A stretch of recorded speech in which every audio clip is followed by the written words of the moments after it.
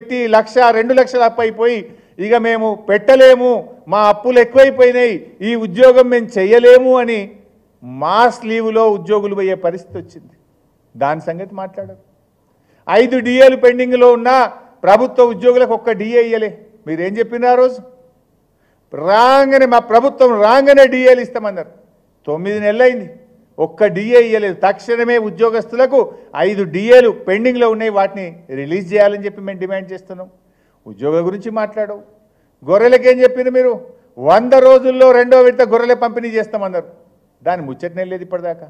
వంద రోజులు అయిపోయి మూడు వందల రోజులకు వచ్చాయి. గొర్రెల పంపిణీ అటుకెక్కిస్తుంది. చేప పిల్లలు ఇస్తుండ్రా.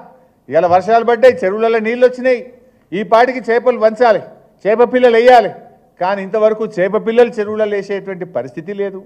ప్రభుత్వ దవాఖానలలో పోతే మందులు లేవు హాస్టళ్ళలో పోతే ఎలుకలు కొరుకుతున్నాయి పిల్లలకు అందరికీ విష జ్వరాలు ఆహారం సరిగా లేక ఆసుపత్రుల పాలవుతున్నారు ఇలా సంక్షేమ ఆస్ప ఆ- హాస్టళ్ళలో ఉండేటువంటి పిల్లలు. దాన్ని మీరు పట్టించుకున్న పరిస్థితి లేదు. అంటే సమస్యల వలయంలో రాష్ట్రం ఉంటే మీరు మాత్రం రాజకీయ కుట్రలకు ఢిల్లీ పర్యటనలకు పరిమితమవుతున్నారు.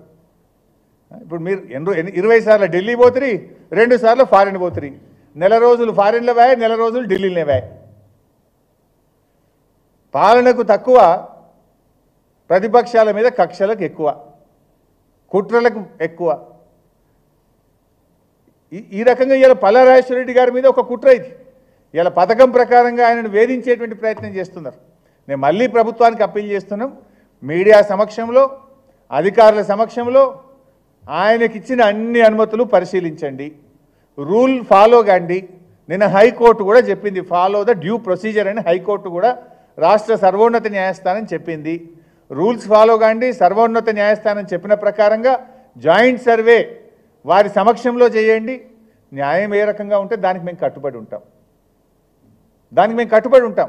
కానీ ఉద్దేశపూర్వకంగా రాత్రి రాత్రి వచ్చి ప్రతిపక్షాలే మీరు దాడి చేస్తాము మేము కొట్టిపడేస్తాము అంటే ఇది మంచి పద్ధతి కాదు.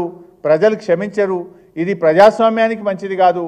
రాజకీయ కుట్రలకు ఆసుపత్రులు కాలేజీలు విద్యా సంస్థలు మరి దానికి కేంద్రం కావద్దు అని చెప్పి ప్రభుత్వానికి హితోబలుతా ఉన్నాం. Thank you